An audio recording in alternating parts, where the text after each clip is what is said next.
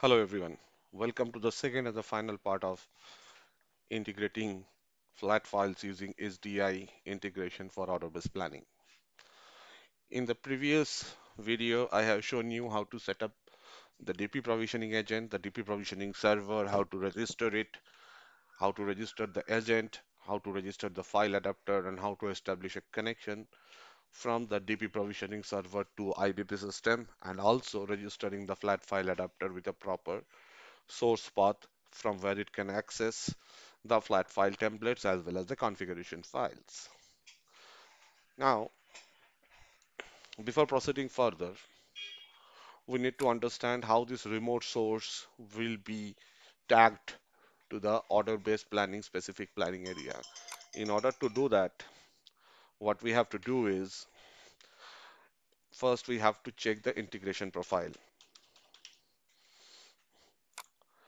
So here, while copying the standard SAP7 planning area for order-based planning, by default, we get this profile created called default.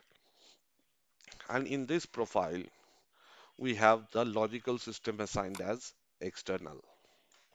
So this is an SAP provided uh, integration profile and for the sake of this demo we will be using that whereas in real time you can create your own integration profile assigning appropriate logical system and even you have the option to assign more than one logical system to an integration profile.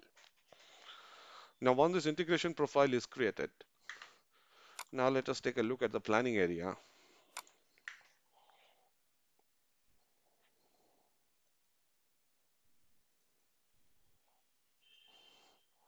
The planning area that I have created for order-based planning is this planning area called SBD underscore SBD OBP. And if you see the plan in this planning area, we have the default integration profile tagged. So in a way, how it works is the order-based planning area is mapped to an integration profile.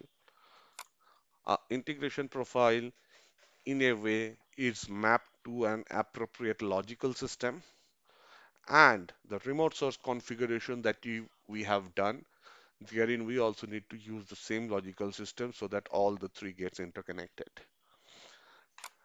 Now here I will be going back to the remote source.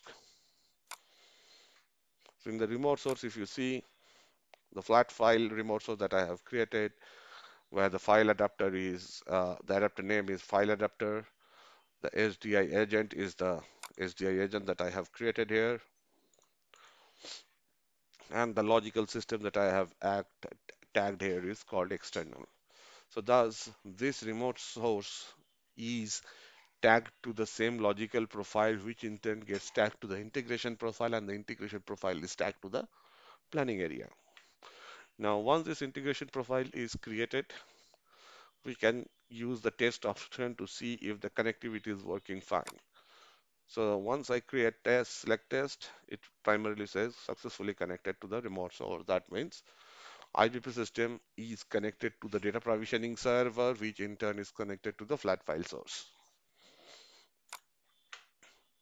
Now, once that is done, we are completed with the setup.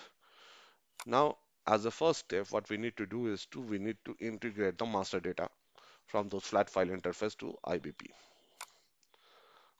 For that, we need to run the application jobs. SAP provides standard application jobs wherein we can create, uh, wherein we have these jobs to use SDI inbound, outbound to pull or push data. So here I'll be selecting the correct one. So since it is master data, I'll be integrating to IBP, hence data integration using SDI inbound.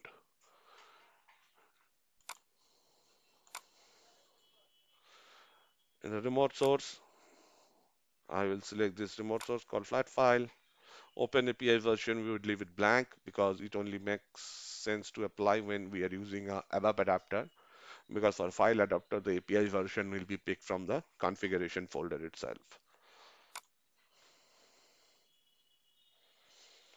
Now I will check this. Yeah, and I will schedule the jobs.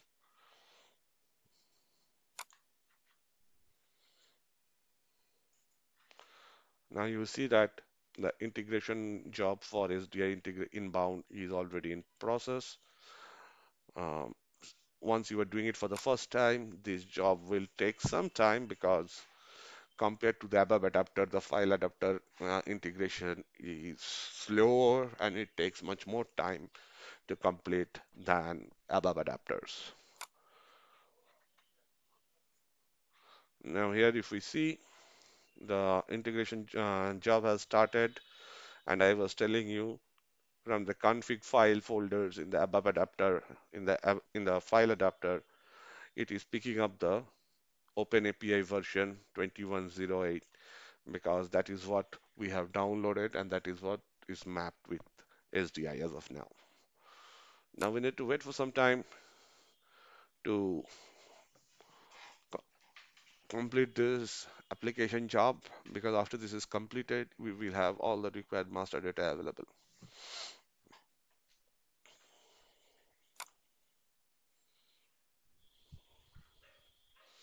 In the meantime, whether uh, the master data job is correctly updating or not, we can primarily check them. And let's go to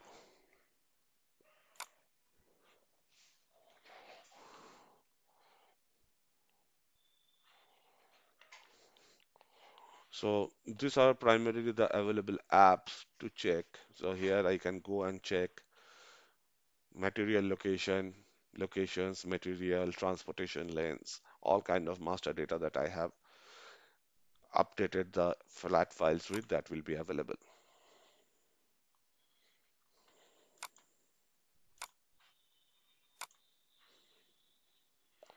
So here you can see as the job integration is happening, I am now getting my material master here, and these are all external master data types that we are seeing here. And let's see something in the location materials. Yeah, we do have the location material combination as well.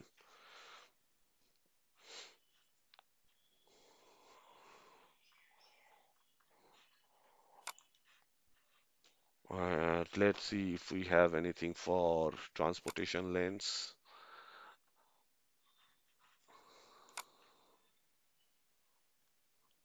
Yeah, we do have transportation lanes updated as well here. So that's how you can integrate order-based planning area, external master data with SDI via the flat file adapters. So now once this data is all updated, you can load the transactional data in the transactional data template and based on that you can now run multiple simulations or multiple runs using finite heuristics, order-based planning optimizer, and check the various output and results. And in this way, you can primarily test out the primarily most of the functionalities that order-based planning provides us today. So the job has been completed, and with this completion, as I said, that you have got all this required master data, and post this master data, you are now good to go and start playing around with the order-based planning system with multiple profile runs, one for heuristics, one for optimizer, and check the various results. Thank you. Thanks a lot for your time.